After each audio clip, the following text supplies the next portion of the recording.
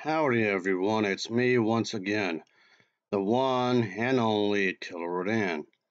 So I figured I would talk about something spooky related, because I sure like my horror stuff, oh definitely. But I, thought I thought I'd talk about some horror comics, I guess, a horror story so to speak. And it takes place in the, what do you call it this, the Alice Wonderland story comics I've spoken about before, I guess you would say and it's this one, folks, called a Wonderland. It's kind of like a little story, like a self-contained story, but it takes place in the, I guess, in the continuity of Wonderland. I guess you would say, it, like a horror version of the Disney stuff. I guess you would say.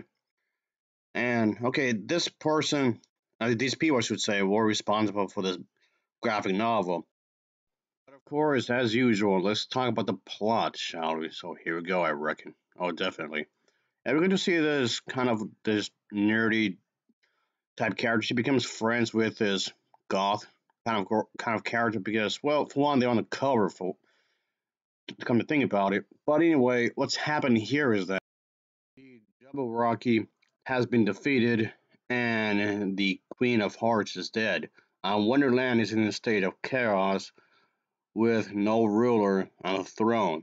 So we get to see that there is these two women here, folks, as I was saying. They want to investigate some kind of thing that's going on. You have to look into it, this kind of mysteries, what's going on here. And yeah, they chew more than what they could expect, of course. Yeah, things get pretty wild, as you may expect. Of course it would. It's a horror story for out loud. And yeah, I know a lot of people did complain about as looking attractive in some ways. Like, really, people? You think that seriously? You know, don't project your insecurities onto the book. Don't do that. There's lots of weird stuff going on in Wonderland anyway. Looking too sexy, looking too attractive is not like the least of your worries. So give me a break here. Anyway, this was published originally in single, single issues, but then it was later collected in one volume like a lot of these books have, of course. And that's reading here, the, the graphic novel, when it was collected into one book, not individual issues, of course.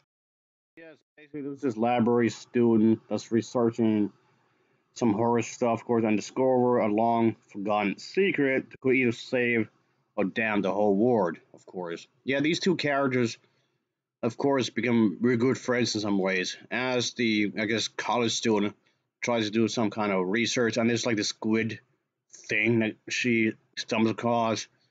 And yeah, it's pretty freaky.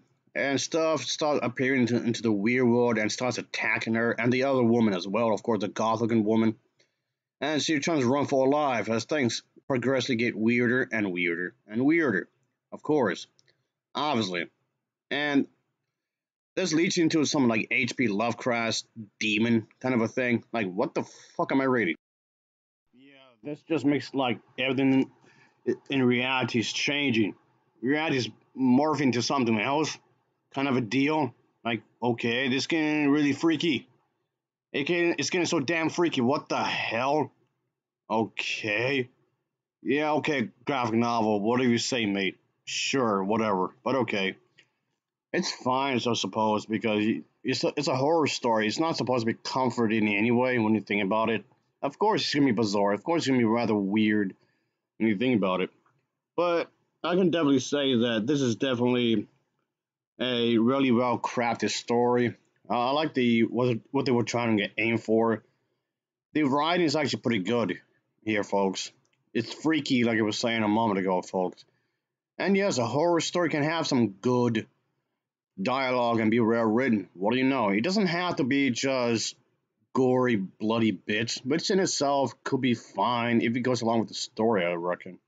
But as long as it's done in a good way, I don't see nothing wrong with it, really. But okay, here we are, I suppose. That college student Blondie over there and that goth looking woman, of course, they pretty much have to team up to discover the secrets, the gloomy, dark secrets, and whatnot to see what's going on, really.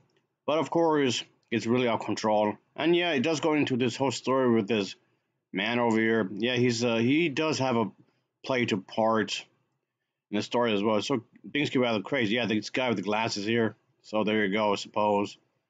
But okay, like a lot of this stuff is somehow connected to Wonderland in one way or another, in one shape or another. So okay, you can't ex- exactly expect something peaceful to go on when it comes to Wonderland. Of course not. Some bizarre stuff will occur throughout the story here. But anyway, I do like the artwork. The artwork is really nice here, folks. Of course, it's really well done. The artwork, the individuals behind this comic when it comes to art is not. The artwork is really nicely done, nicely detailed, of course. Why not?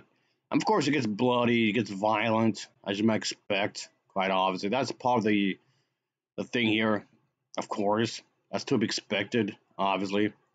But then in some ways, that's fine. Of course, it just makes it more like, okay, uh, are the characters at risk? Could they survive these horrific events as they struggle to stay alive? They can't have a normal life, I suppose. They can't have a normal life whatsoever. Even if they tried, it's literally impossible for these characters to have a normal life whatsoever. But no, they have to survive in some kind of way because these creatures, those creatures out there that's out to get them, of course, it's crazy. It's pretty damn crazy when you think about it, quite obviously. So there you go, I reckon. Ultimately, yes, I would recommend this because it's well crafted. I did like the way it's handled. The pacing of the story is pretty good.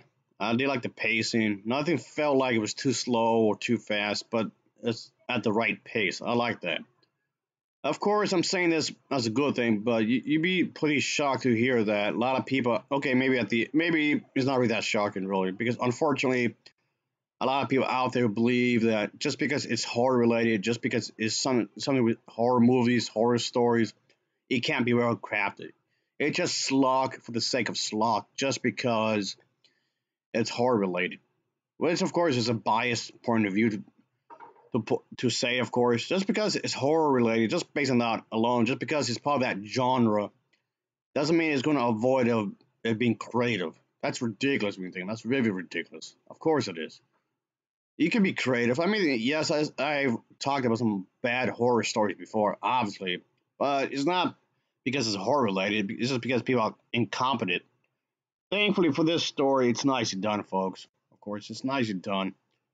And it's pretty expensive, of course. Yeah, I had to pay a pretty penny for this graphic novel, but you can fork over quite a bit of dough, so to speak. I would recommend it, obviously.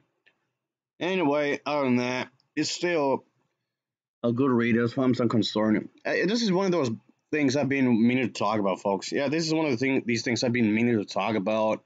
So it just took me a good long while to finally get to it, really. So here we are. I haven't reviewed a graphic novel or comic however, whatever you can call it, in a good while anyway. And it is my way to talk. Of course, I want to talk about more books, more literature whenever I have the chance. Of course, I, I'm going to make more of an effort to fix that, I guess, because I don't talk about this stuff that often. It's weird. It's very weird. It's a weird story to, to look into. I know it's not everybody's cup of tea because of that. It's so strange. Anyway, but I guess I will recommend this anyway, nonetheless. And of course, I would say that it's worth a read. I'll give this a Novavar rating of a 7.0. I think it's a 7.02 for me, folks. As always, thanks for watching and take care. See ya. Oh, yeah. Later.